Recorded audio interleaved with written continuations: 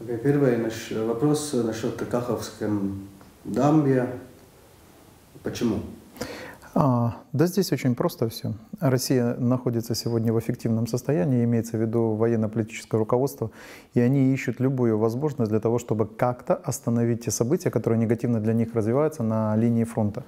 А, непосредственно военным путем они это не могут сделать, и они ищут любой инструмент. Это может быть инструмент псевдодипломатическое давление, вот эти все инициативы о каких-то переговорных процессах. Это заявление о том, что Путин готов к решению задачи СВО не военным путем. И, наконец, это способ вот такого воздействия на информационную повестку. Э, это попытка перехватить эту повестку, это попытка психологически повлиять на элиты западные, на Украину и так далее. И так или иначе перехватить, еще раз подчеркиваю, инициативу на поле боя. Ну, то есть сказать, смотрите, давайте вы не будете помогать Украине, потому что иначе все это приведет вот к эскалации как таковой. То есть здесь мотивация абсолютно понятна. В то же время а, это событие тоже влияет на водоснабжение Крыма, потому что там канал идет да. тоже сейчас. Вы задаете абсолютно правильный вопрос, просто хотелось бы, чтобы в Европе понимали до конца, да Путину безразлично население Крыма, население оккупированных территорий. У него совершенно другие задачи. Он использовал Крым как плацдарменную территорию для атаки на Украину. Задача Путина не в том, чтобы обеспечить надлежащее качество жизни того или иного населения, в том числе российского. Задача Путина восстановить СССР и остаться большим политиком в историческом смысле этого слова. И, соответственно, для этого он использует любые инструменты, включая а, в том числе вот такого типа террористические акты. Это несомненное нарушение Женевской конвенции. Это, по сути, использование, а, подрыв дамбы, это использование неселективного воздействия, неизбирательного воздействия на большое количество людей. То есть, по сути, это нарушение протокола а, первого статьи 56 Женевской конвенции с дополнениями 1977 года. То есть, грубо говоря, ключевая задача Путина — переломить негативно складывающуюся для себя ситуацию. И он идет в банк В то же время э, эта ситуация, она как-то влияет на практические планы контрнавтов Украины? Нет, безусловно. С точки зрения стратегических планов, которые есть в Украине, любая э, подобная ситуация принципиального влияния не окажет. Для нас есть важность э, необходимости деоккупации территорий. Сейчас идут определенные Э, операции с точки зрения прощупывания оборонительных порядков Российской Федерации. Э, происходит резкая интенсификация ударов по тыловому обеспечению, ну, имеется в виду по логистике снабжения российской оккупационной группировки. И, соответственно, вот эти попытки подобным образом, экологическим образом повлиять на развитие ситуации на линии фронта, не, влияния не оказывают.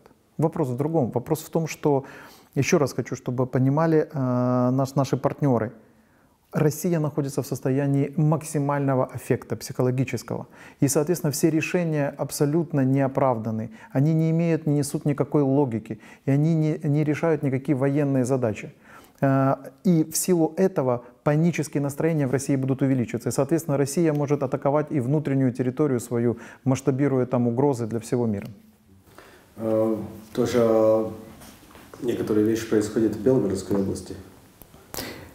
А, это вот все, что сейчас происходит на территории Российской Федерации, это обязательное, необратимое следствие масштабной войны. Война постепенно. У России был план очень быстро закончить эту войну. В связи с тем, что этот план провалился, других сценариев у них нету. Понятно, что постепенно война переходит все ближе и ближе к территории России и уже заходит на территорию России. И вот эти события в Белгородской области показывают четыре важных э, аспекта ну, для того, чтобы мы понимали, как дальше будут развиваться события. Первое. В России будет ухудшаться качество управления как такового. В России будет нарастать хаотизация. Второе. Россия сейчас демонстрирует неспособность принимать, принимать быстро адекватные антикризисные решения, то есть как-то принимать те решения, которые уменьшат риски на внутренней территории. Третья составляющая. В России нет безопасностного внутреннего контура. То, что Россия продавала своим гражданам, они говорили, смотрите, вы откажетесь от прав и свобод, взамен вы получите абсолютную стабильность и гарантии безопасности. Всего этого нет. И, наконец, четвертое. В России некому принимать эффективные решения и, соответственно, быстро привозить туда военнослужащих, потому что внутри страны практически никого не осталось. Все, что они могли собрать для этой войны, оно отправлено на украинские фронты. Э, если мы возвращаемся вот на контрнаступ как раз в Украине, э, чтобы освободить территории, которые под оккупацией. Сейчас в Украине любят э, говорить, что план любит тишину. особенно в этой неделе. А сколько людей знают конкретно план? Единицы, несомненно. О стратегическом э, задуме в политическом смысле знает, безусловно, вся страна. О тактических особенностях тех или иных операций знают единицы, которые отвечают за те или иные оперативные направления. И, безусловно, знает верховный главнокомандующий, главнокомандующий. И в рамках ставки они отдельные сценарные э, предложения обсуждают. Но, тем не менее, Российская э, Федерация абсолютно точно не имеет доступа к фактической информации, которая касается способов, направлений, времени, объемов ударов, которые будут нанесены по их позициям. Тут очень важный аспект.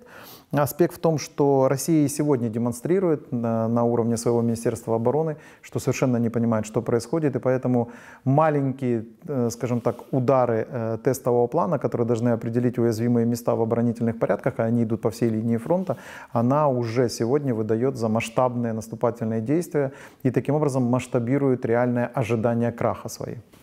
Еще такая подготовка, если можно сказать, к контрнаступлению?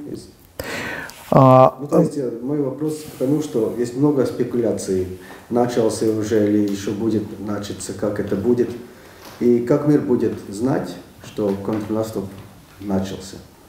Мир узнает о том, что все э, происходит, когда будут эффективные масштабные действия – непосредственно, а, который будет демонстрировать деоккупацию территорий как явление. Э, что касается того, что спекуляции, спекуляции это неплохо в данном случае, потому что большая война и все хотят так или иначе ее комментировать, это нормально. Но тут очень важно понимать следующее. Да, сейчас идет подготовка поля боя, формирование поля боя. Для этого украинская сторона интенсифицирует обстрелы, еще раз подчеркиваю, логистического снабжения, одновременно при этом проводит, скажем так, э, активное зондирование линии обороны для того, чтобы понять, где, как, на каком уровне эти линии обороны в России сформированы. Но тем не менее, с точки зрения вот, собственно контрнаступления, это не единовременное событие. Вот оно сегодня началось в 12.00 и дальше уже развивается по какому-то сценарию. Нет, это множество различных операций на разных направлениях, которые в итоге должны привести к максимально жестокому обрушению российских оборонительных порядков и к бегству российских а, остатков российских частей.